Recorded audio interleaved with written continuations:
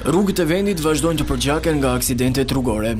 Një 30 vjeçar humbi jetën orët e para të mëngjesit të kësaj të mërkure, në aksin që lidh Fierin me Patosin. Aksidenti ndodhi në vendin e quajtur Portëz, ku një automjet tip Benz u përplas me një kamion. Nga goditja e fortë mori dëmtime të shumta drejtuesi i veturës, i cili humbi jetën në vend. Hetuesit kanë shoqëruar shoferin e kamionit, ndërsa shkak për aksidentin dyshohet se u bë shpejtësia e lartë. Ndërkohë në rrugën e Kombit, në afërsi të Fangut u shënua një tjetër aksident me plagosjen e dy personave. Shkak u bë një parakalim i gabuar. Edhe në Tiranë katër automjete u përplasën në zonën e Don Boskos. Nga aksidenti u shënuan vetëm dëme materiale ndërsa nuk pati të lënduar.